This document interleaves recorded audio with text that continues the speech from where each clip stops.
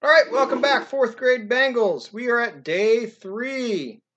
So let's go over yesterday's day two exit ticket. We have six times tables we're doing. Six times one, six times two, six times three, six times four, six times five, and six times six.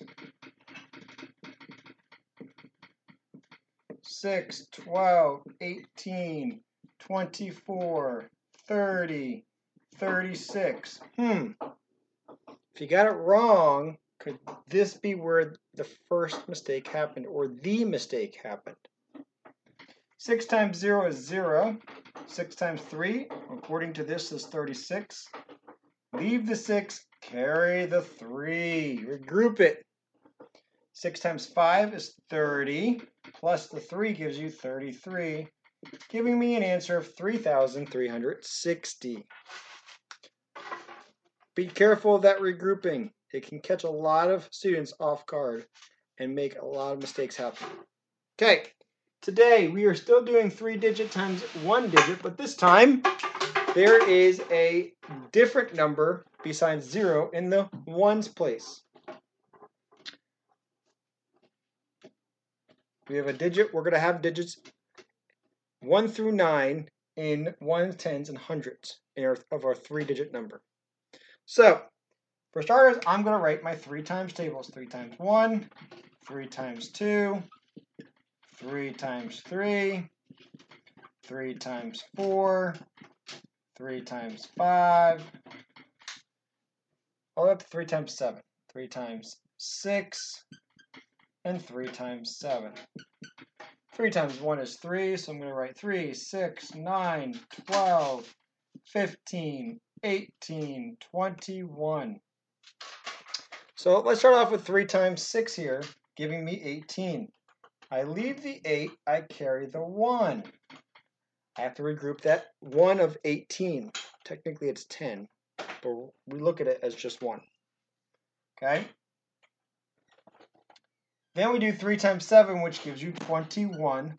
But I can't forget to add that 1 there to give me 22. Carry the 2 of the 22. Then I do 3 times 3, which makes 9, plus 2, which gives you 11, giving me an answer of 1,128. Okay? Awesome, awesome job. Now let's move on to number two.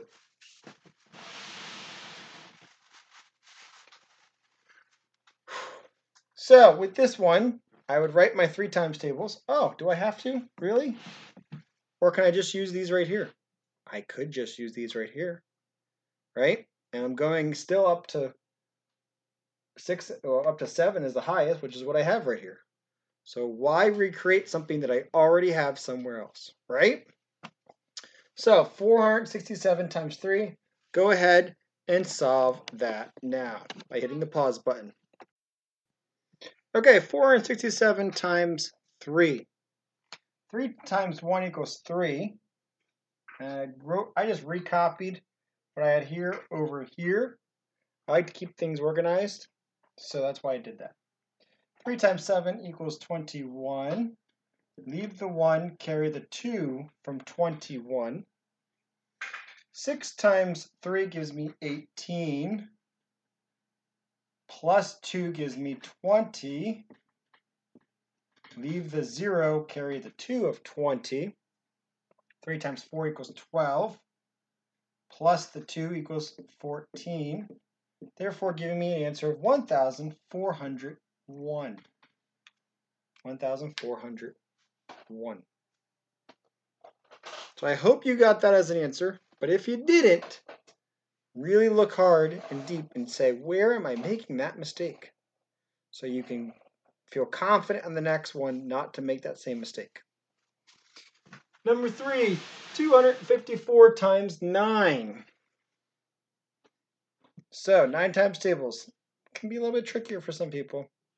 So go ahead and solve that now by hitting the pause button. Okay, so I wrote my 9 times tables first. wrote all the products of these factors up to 9 times 5. So 9 times 4 equals 36. Carry the 3. 9 times 5 equals 45. Add the 3 from the previous product. And you get 45 plus 3, which equals 48. Leave the 8, carry the 4 from 48. 2 times 9 equals 18. Plus 4 gives you 22 giving me an answer of 2,286. All right, last but not least is number four. 338 times 6. Get those six times tables written down and go ahead to solve. Don't forget to hit the pause button now. 338 times 6. So 6 times 8 which according to my multiplication facts is 48. Leave the 8, carry the 4 from 48. 3 times 6 is 18. Uh, plus the 4 gives you 22. Carry the 2 from the 20 of 22. 6 times 3 equals another 18. Plus 2 gives you 20, leaving me with a product of 2028. So, I hope either A, if you're making mistakes, you're identifying them and you're feeling confident for the exit ticket. Or B, maybe you've identified your, your mistake way back in earlier problems, but now you're not making the mistake anymore, which would be awesome.